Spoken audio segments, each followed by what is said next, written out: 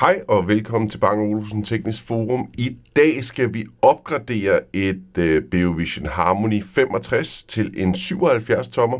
Som I alle sammen ved, så, øh, så skete der jo det, at vi havde flyvende biler her i København, og det resulterede i, at der var en bil, der ramte vores øh, gamle skærm, vores øh, LG CX-panel. Det gjorde, at øh, der var en masse grønne striber, og øh, i mellemtiden, mens at vi kørte en forsikringssag, så havde vi et Samsung 24-tommer fjernsyn siddende på en trip-trap-stol inde i stuen.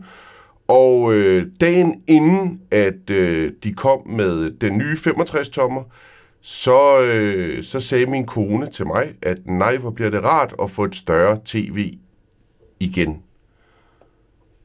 Og så tænkte jeg, at så opgraderer vi da. Yes.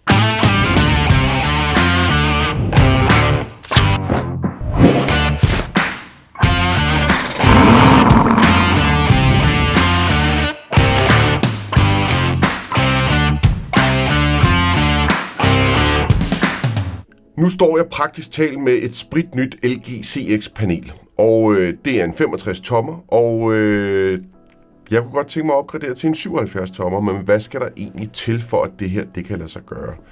Jeg skal nogle nye øh, højtalerfronter til. Jeg går ud fra, at det mounting plate, der sidder bag på et LG CX-panel, ikke passer på en 77 tommer. Jeg tror, den er lidt bredere og lidt anderledes lavet. Så det skal jeg i hvert fald kigge på. Så skal jeg kigge på, øh, øh, om det skal være et øh, LG C1-panel, eller det skal være et LG G1-panel. Det er de to optioner, der er lige nu, øh, hvis man vil have den nyeste teknologi, og hvis jeg vil have det i en 77-tommer. Så det jeg gjorde, det var, at øh, jeg satte øh, min LG-skærm, min CX 65-tommer, til salg på den blå vis, med garanti og hele multitausen. Det er jo sprit nyt, med, øh, og jeg har jo foden og den der grimme pingvin remote, og øh, det blev solgt i løbet af 24 timer, så det gik rigtig stærkt. Så stod jeg med to højtalerstoffronter til øh, en øh, Harmony 65 tommer, så der skulle jeg finde en forhandler, som ville tage dem retur og sælge mig nogle 77 tommer, øh, 77 tommer fronter, hedder det vist. Og det var ikke særlig svært at finde en forhandler, der ville være med til det, så det var bare en differencepris. Øh, det gode ved det er jo, at øh, det, er jo, det er jo ikke en sliddel som sådan, den, de er der jo bare, de højtalerstof. Og der er ikke noget slitage eller noget som helst, så de er jo praktisk talt som nye. Øhm, men derfor er det jo stadig et brugt produkt, som forhandler skal købe ind af mig, og jeg skal købe et nyt produkt af forhandleren. Det blev også klaret forholdsvis enkelt. Så skulle jeg jo finde ud af, hvad for en skærm det skulle være. Og øh, det jeg gjorde, det er, at jeg kan tage med på rejsen. Øh, jeg gik ind på øh, Elgigantens hjemmeside, og så gik jeg ned under specifikationer på øh, LG G1 og på LG C1.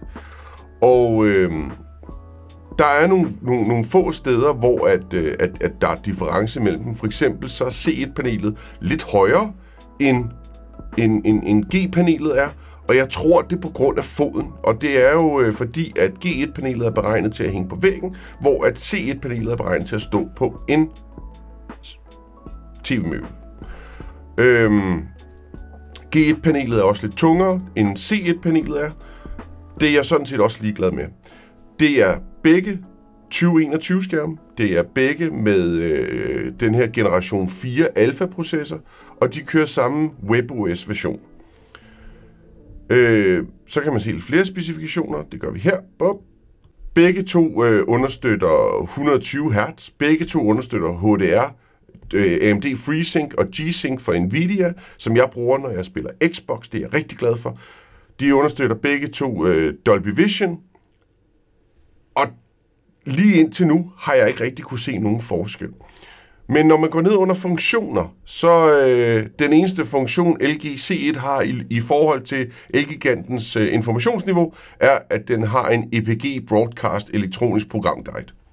That's it.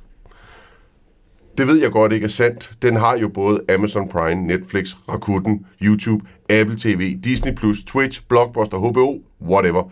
Det hele. Så alt hvad G1-panelet har af funktioner, det har C1-panelet også. Det kører samme software, samme processor. Der er bare lidt flere informationer på siden, men det er jo, hvad det er. Med hensyn til tilslutninger har begge paneler fire tilslutninger, og begge to er HDMI 2,1 Sjovt, at de skriver, at der er 0 HDMI-porte, der understøtter e-ark. Den er vi bare ligge. Operativsystem. Smart TV, ja. WebOS, Apple HomeKit, Alexa, Google Home Assistant, bla bla bla, Bluetooth. Skærmspejlning er der på G1-panelet, det er der sådan set også på C1-panelet. Så står der noget omkring lyd, og lydeffekten på øh, G1'en er 60 Hz, og der står ikke noget omkring C1-panelet, så der prøver vi lige at google her. Og der kan vi se her, at øh, C1-panelet har 40 watts højtaler og forstærker effektniveau. Det er jeg pænt ligeglad med. Jeg sætter det jo til en soundcenter. Så det, det, det er ikke øh, noget. Lad os se på øh, forbrug. Begge to G-mærket. Effektforbruget er faktisk mindre på C1, end den er på G1. Så spørgsmålet er, om der er lidt flere nits i G1-panelet, end der er i C1-panelet. Det ved jeg faktisk ikke. Men altså, indtil videre, så er det eneste, jeg kan se af forskel, er, at den ene er beregnet til at hænge på væggen, og den anden den er beregnet til at sidde på en skænk eller en tv-bord eller whatever. Og så er der bedre lyd i G1-panelet, hvilket jeg er pænt ligeglad med. Så hvis vi går op og ser, det ene koster 24.999, det andet koster 34.187. Okay. Så 34.187 minus 24.999, det er en difference på 9.188 kroner. Jeg sparer de 9.188 kroner, og så hopper jeg i Elgiganten og henter et monstrum af et C1-panel. Og lad mig lige prøve at se her, og hvor stort, hvor stort er det? Mål med kasse, uden stand, produktmål med emballage. Det er to meter bredt. Og en flyttebil.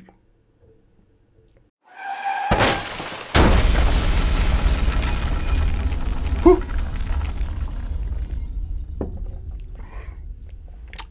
LG C1 er afhentet, og øh, der skulle en anden backplate på, for at man kunne sætte det til.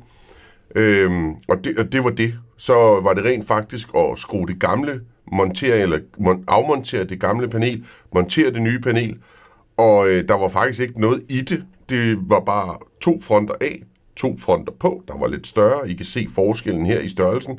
Det er lidt bredere, end det er på 65-tommeren. Og så var det bare panelet på. Den eneste forskel er, at jeg kunne selv pille 65-tommeren af. Jeg kunne ikke selv sætte 77-tommer panelet på.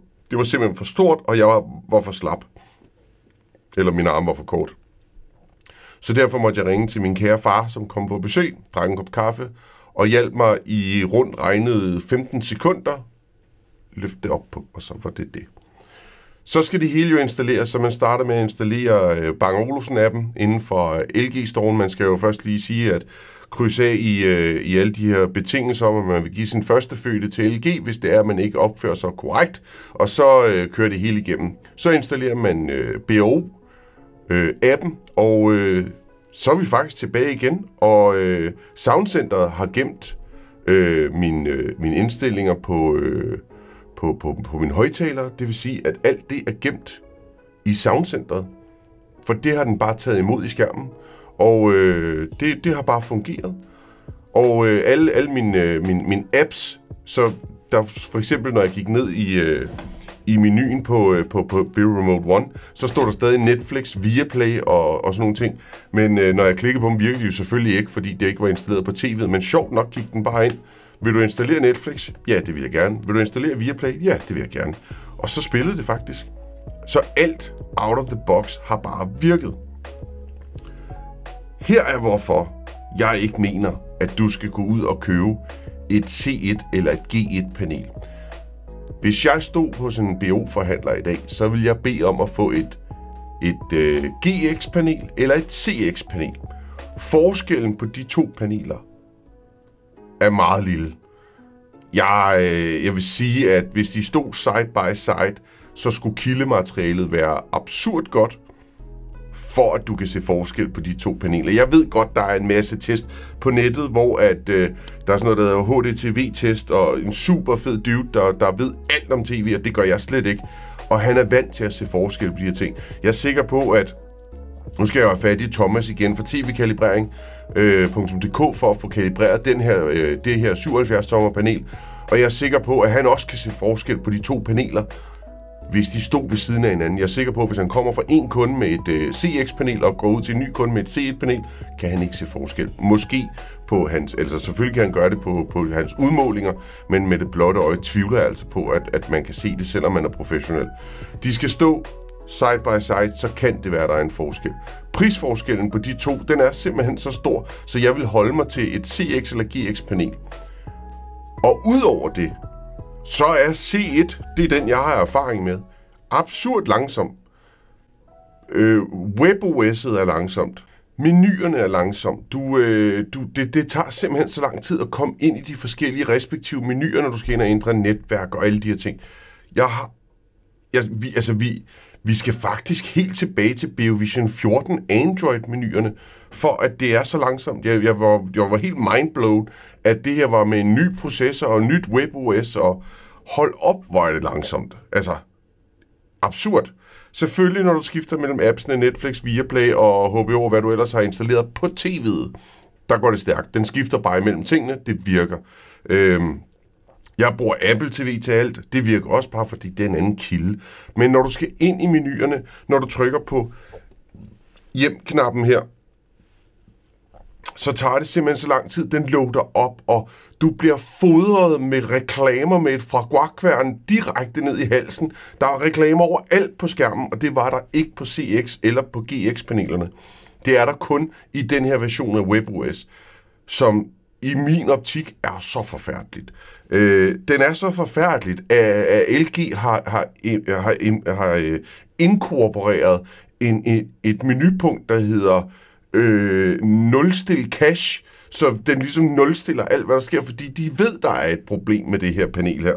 Øh, man har simpelthen... Jeg, jeg, jeg kan ikke forstå det. Jeg, jeg er ret sikker på, at øh, det, der gør, at den er langsom, det er, at den skal ud på nettet, finde ud af, hvad for nogle reklamer skal den nu fodre seeren med i forhold til, hvad skal den vise, og så tager det lidt tid at få dem op på skærmen og sådan nogle ting.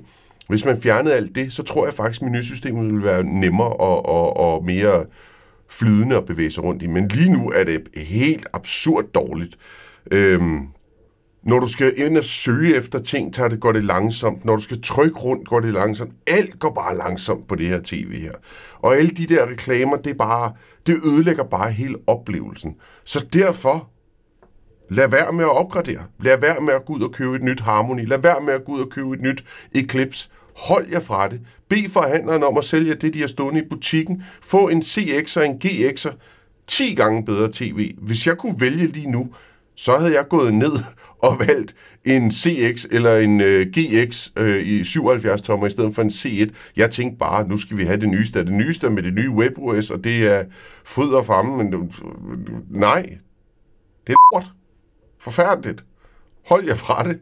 Det eneste positive, jeg har at sige om øh, C1-panelet og, og, og G1-panelet, det er, at du slipper for den her sindssygt ulækre lyserød volumenbar, som der er på CX og GX-panelerne.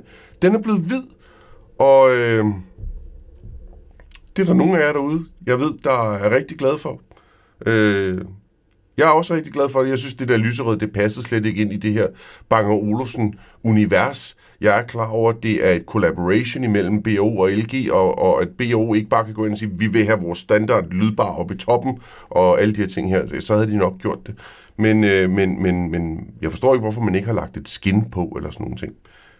Men C1 og G1, damn, det er dårligt. Altså, forfærdeligt. Det ødelægger hele oplevelsen, det her med, at at, at når du skal ind og gøre noget, så tager det bare lang tid. Jeg ved godt, det ikke er så tit, man er derinde, men øh, når man er sådan lidt nørdet og bare gerne vil nuller med tingene, så bliver man presset over, at det tager så lang tid. Så er anbefalingen herfra, hvis du vil opgradere dit øh, Harmony fra 65 til 77 eller til 88, jeg vil lige sige, hvis du vil opgradere til 88, så vil jeg anbefale at få en autoriseret øh, tekniker ud og hjælpe dig, fordi det er noget med, at du skal skille selve 88-tommeren kommer med et tv-møbel, hvor strømforsyningen sidder i, der skal demonteres eller afmonteres, så skal det sættes bag på, på skærmen, og det skal skrues fast. Lad være med at rode med det selv. Men hvis du har en 65-tommer og godt kunne tænke dig at skifte til en 77-tommer, eller sidder du øh, med en eller anden curse og tænker, at du har et GX-panel, og du vil gerne have et G1-panel, så gør det da. Så gå ud og køb det og sæt det på. Det er nemt. Det er lige til. Øhm, jeg troede faktisk, der ville være nogle krumspring, jeg skulle igennem, det, men det er der ikke. En sidste ting, der er det med, med, med C1, det er, at øh, BO ikke er helt færdig med softwaren i forhold til de her nye paneler, og jeg tænker, at det er lidt underligt, fordi at både øh, C2 og G2 er jo på vej, øh, men det, der sådan set sker, det er, at øh, når fjernsynet har været slukket i en længere periode, og du tænder for det på en HDMI-port, ikke på det sker ikke på Netflix, det sker ikke på Viaplay eller alle de andre indbyggede apps. Det sker ikke, når du tænder for tv, men når du tænder for HDMI, så øh, den lille diode, der er i midten af fjernsynet, den forbliver tændt. Indtil at skærmen så starter op, så kan du trykke ind på HDMI-kilden igen, og så slukker dioden. Det synes jeg er lidt trælst. Øh, jeg har lavet en øh, makro i min BioLiving Intelligence, som går ind og siger, at når jeg trykker på den her given knap, så skal den tænde fjernsynet, og så ved den, at præcis efter så mange sekunder, så skal den skifte over til HDMI'en, og så slukker dioden. Men øh, det er jo ikke alle, der har en BLI, og derfor så er det bare sindssygt dårligt, at øh, når du tænder på sådan en kilde, at, øh, at den gør det. Jeg, måske er det egentlig, at det er samspillet mellem C1-panelet, et Apple TV, som står til en variabel framerate i forhold til, hvilket kildemateriale, der skal spilles, og så sound, samarbejdet med soundcenteret. Det kunne jeg forestille mig. Men det er i hvert fald noget, der ødelægger lidt brugeroplevelsen for mig. Øh, den er meldt ind, så forhåbentlig sker der snart noget på den front. Som jeg lige har fortalt, vi er faktisk lige to uger fremme i tiden nu i forhold til, da jeg skød videoen, men ret skal være ret. Jeg meldte den her fejl ind, som jeg nævner her, i forhold til, at den hvide diode, den forbliver tændt, når tv'et det tænder. For to uger siden meldte jeg den ind. I går eller i forgårs, i fredags, for nogle dage siden, to-tre dage siden, kom der en opdatering til Harmony, som gjorde, at når jeg starter mit Apple TV, starter den op lige så snart, at ørerne på højtalerfronterne, de lige er ved at ramme øh, den hvide diode, slukker den hver gang. BO. I har gjort det igen. Selvfølgelig er det træls, at øh, det ikke bare spiller fra starten af, men man skal også ret skal være ret. I integrerer jer op mod så mange forskellige platforme nu, og I er afhængige af andre leverandører. Jeg kan bare sige, at øh, en, en løsning inden for, for 14 dage, det er, det er, det er rigtig flot. Og øh, tak for det. Det, øh, det spiller bare. Tilbage til videoen. Det var en øh, video omkring en opdatering af et Beovision Harmony. Meget enkelt. Nemt at gå til. Lad være med at gøre det. Køb et CX GX panel. Det var alt, hvad jeg havde til i dag. Kan I have det godt derude? Husk at subscribe på kanalen og give videoen en like, så bliver jeg rigtig glad. Hej!